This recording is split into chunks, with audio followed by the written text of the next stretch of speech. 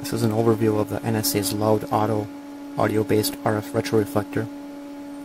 This is a planted device which is used to extract audio intelligence from the uh, remote target location.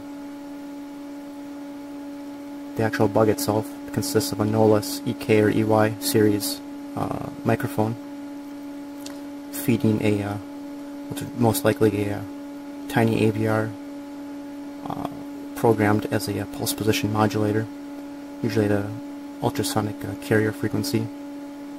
That is then used to toggle the uh, gate of a uh, FET, which, is, which generates the actual modulation.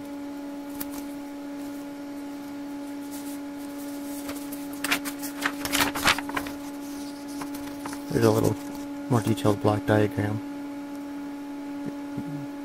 The Knowles microphone picks up the target audio. It should be a low pass filtered and amplified if it needs so needed. Um, it needs to be low pass filtered to prevent aliasing. That is fed into the pulse position modulator. Uh, in this example, the pulse position modulator is running at 100 kilohertz. It generates a pulse position modulated pulse train which is then fed into the gate of our FET device, which has a uh, antenna on the drain, and then from our remote radar unit that illuminates the, the, bug, essentially, and it creates an amplitude modulated backscatter signal. There's essentially two modulations on here. We have the actual RF, backscattered RF is amplitude modulated, which, but when put the uh, pulses essentially back together. It's going to form a uh, FM subcarrier, which is on equal to the clock frequency of the pulse position modulator. So, for example, if the PHOTOANGLO unit was at uh, 1 gigahertz, and the pulse position modulator was 100 kilohertz, we'd have a 100 kilohertz subcarrier on that 1 gigahertz illumination frequency. Without the uh, microphone attached, you can essentially uh, just use the clock signal as a beacon to peak your uh, antennas for uh, better illumination. Use it as like a received signal strength indicator.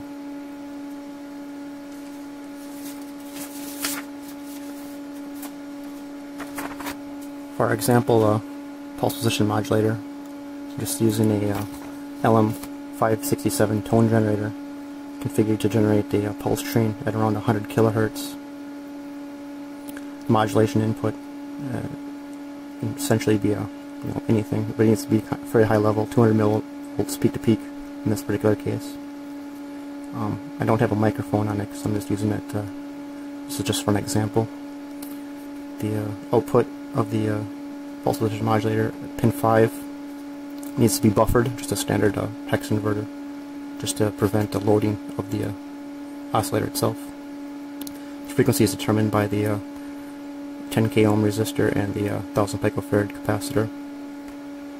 Uh, the buffered pulse train is then uh, sent to the uh, standard uh, FET modulator that we're using in the TAWDRYYARD experiments.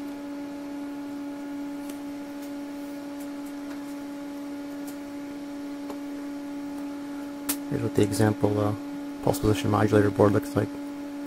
This output connector is go to the uh,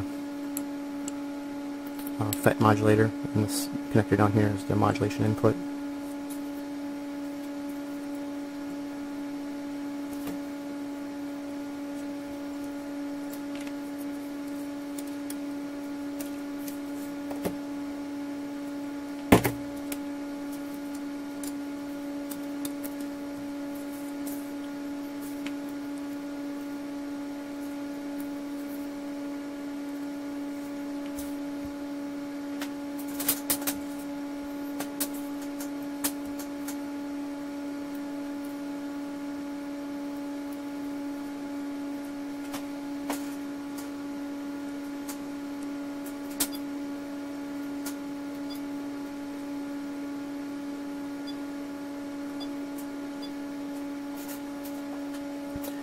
The oscilloscope screen, I have the uh, pulse position modulator hooked up.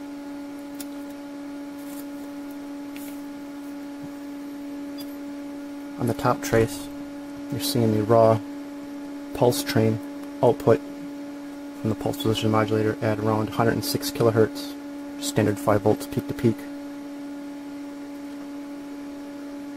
Now I'm going to show you an example when it's modulated. On the second trace, I just have a uh, 5 hertz sine wave, just to make it easy to see. Can see the just a 5 hertz sine wave. You can kind of see how the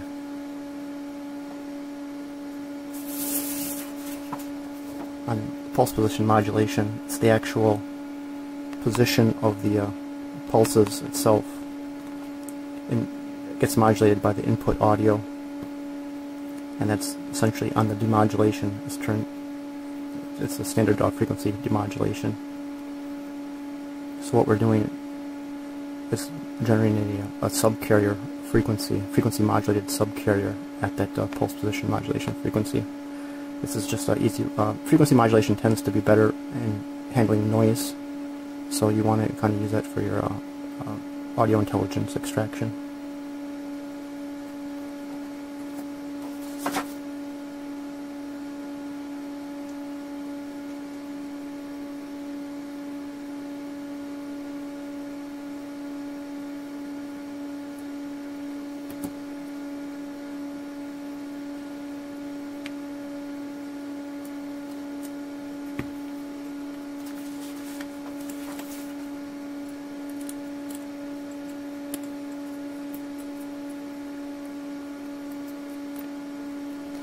I can show you how it generates the subcarrier. Here I just have the raw pulse position modulator board connected up to the FET modulator now. That's generating the 100 kilohertz pulse train, unmodulated right now. I have uh, our uh, Decatur Rangemaster radar, which I'm using for the illumination radar, operating at uh, about 10.53 gigahertz right now. And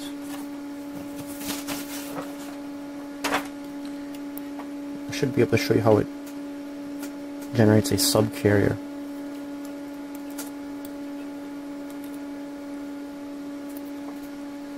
If you watch the oscilloscope screen, you already see the 100 kilohertz subcarrier. Um, if we had the proper spectrum analyzer, you'd be able to tune into that subcarrier and FM demodulate it directly.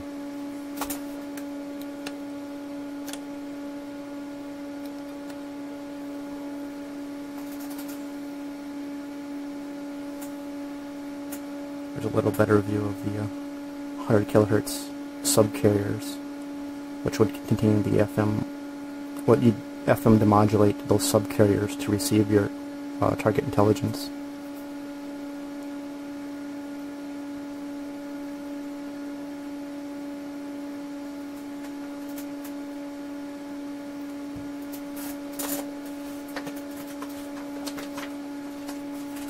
There's a block diagram of the uh, PHOTOANGLO or CTX 4000 uh, radar unit. If you don't have a uh, spectrum analyzer to directly receive the backscattered signal, it's possible to take the uh, one of these outputs, the I or Q output, from the radar unit. And then I have a, this is a uh, VLF converter. What this does, it converts 1 kilohertz to 500 kilohertz up to 10.001 megahertz to 10.5 megahertz. Essentially what this is doing is uh, converting uh, low frequencies up to high frequencies so they're uh, easier, better easy to receive on a standard uh, communications receiver. This is an AOR AR8000. I can show you that a little better example here.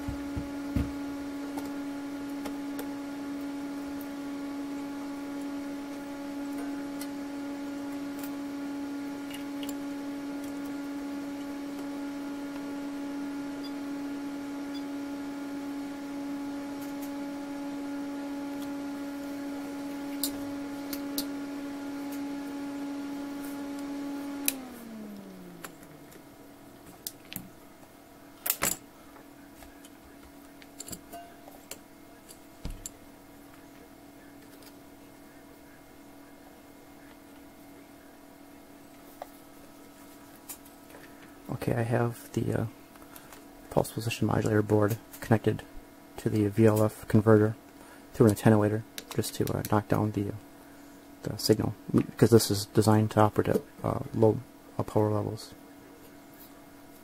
I have a uh, 1 kilohertz sine wave going into the modulation input. I'm going to tune the AOR 8000 to about 10.106 megahertz wide FM and you can hear the 1 kilohertz tone.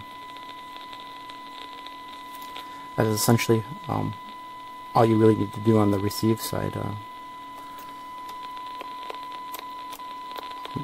you need to, you're just tuning in the uh, subcarrier frequency. In this particular case is being up converted to 10 megahertz, but uh, we're tuning into the 100 kilohertz subcarrier at 10.06 or so uh, megahertz, and that's standard uh, wideband FM, which is like you know standard broadcast FM. So you have a nice, uh, fairly clean signal. You can hear a little bit of static because of the attenuation, but um, you can change the you know you don't necessarily have to operate these bugs in the audio band. Um, you could theoretically you could uh, get subsonic um, mechanical you know bangs and stuff from uh, like wheels uh, lock wheel packs or um, you can even use ultrasonics.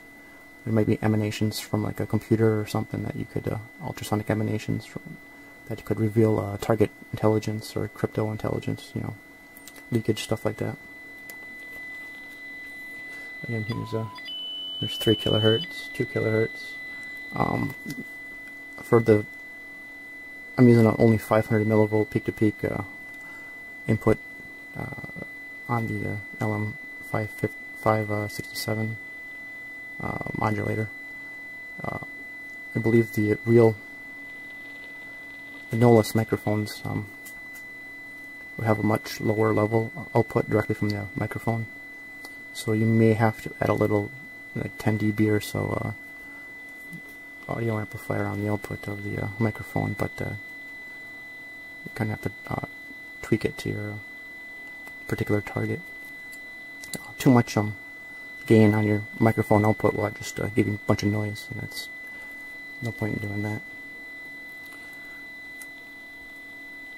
That's essentially all it is. Um, if you had if you had to or had the particular receiver you could just connect a uh, like a 100 kilohertz receiver directly to one of these IRQ IRQ uh, outputs from the uh, radar unit itself. But um, I don't have a direct receiver that goes down that low in frequency. That's why I had to use the uh, secondary up converter. But uh, in the uh, actual NSA pamphlet, they use the Rohde & Schwarz spectrum analyzer. They're not even bothering with the. They're essentially um. They'd have a. They're using this as a separate receiver and just kind of pointing it at the, pointing the antenna at from the uh, spectrum analyzer at the uh, targeted backscattered signal, and they're uh, FM demodulating the signal directly. But it's just a. It's kind of a waste. There's really no reason there is a waste a spectrum analyzer doing that, but uh, it makes it easier to tune into the uh, subcarrier frequencies. Each of these devices, if you use multiple multiple devices, planted devices, should each have its own uh, particular uh, frequency or subcarrier frequency to avoid to, be able to you know pick them out. And they uh, are powered from a standard uh, 3 volt uh, lithium cell, and the current draw is really low, so they should be able to last about a year or so.